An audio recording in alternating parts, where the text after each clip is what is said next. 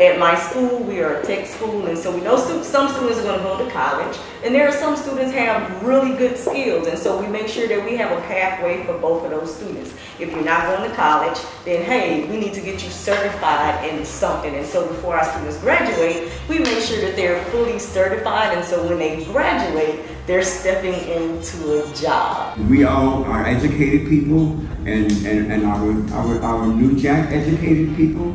I, I like to go hip hop because hip hop took it into another place.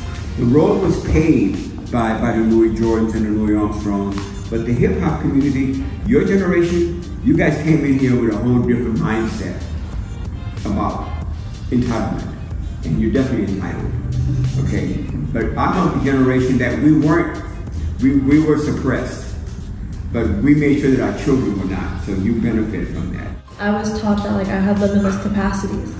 And so like no matter what my surroundings looked like, no matter um, what I felt like I was capable of at the time, I was taught that if I really wanted to do something, then I could do it. So just teaching younger generations that they are capable And of doing who pushed you to be a, a scholar, a student? Like mom, dad, like what did Um, you see to make you become who you are as Well, a it started with my mom. She used to read to me when I was younger, like really big books, and I hated it, but now I love it. All of my siblings, I have four siblings, we all went to different countries.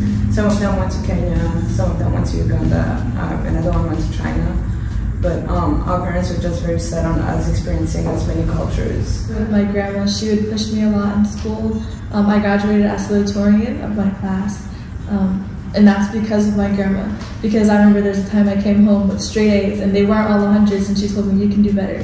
So I did better. I can only speak from what I know, and what I know is that in Africa, it is both one of the oldest continent, the oldest continent, but also it has it is home to the most young people. The average person in Africa is 23, 24 years old. So there's so much potential. Also, all of those countries, most of them are really young. My country only got its independence from Belgium in 62. So it is very young in terms of the world. So it's so much potential, and I see the same thing in New Orleans. And I think it's about connecting those two, um, those two cultures, those two groups of people, because that's why also I want to make movies because it's about storytelling.